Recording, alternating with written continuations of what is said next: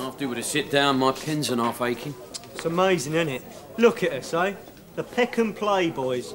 I bet the only one who's pulled tonight is Granddad. Yeah, you ought to be used to it. The only thing you ever pull at Christmas is your cracker. Mm. Here, look, there's a table free over there, Rodders. Go on, look lively.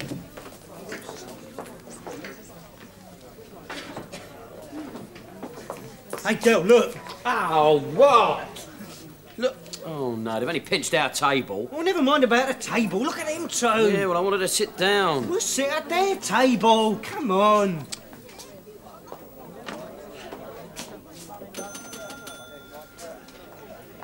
Well, go on then, Del. Go on, what? Do the bizzo, chat 'em up. How come it's always me that's got to do all the donkey work, eh? You're like a spy, you are, Rodders. You're the one that finds out where the enemy is hiding, but I'm the one that's got to charge across no man's land and do the capturing. Well, I think it's about time that you took some of the old shot and shell. Go on. What, me chat 'em up? Yeah, go on. All right, I'll do it. Well, go on then. I will.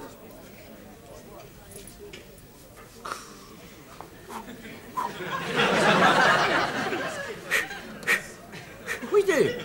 Hey, What are you doing? psyching myself up.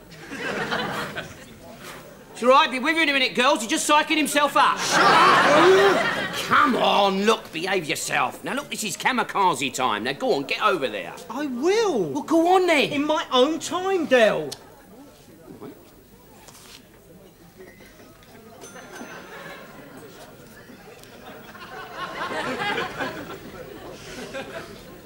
Go on then. Just shut up, will ya?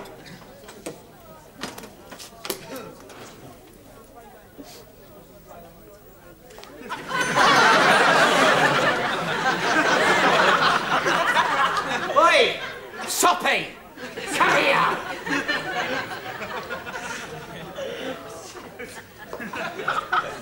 I'd like to kill you sometimes. Sometimes I'd really like to hurt you bad.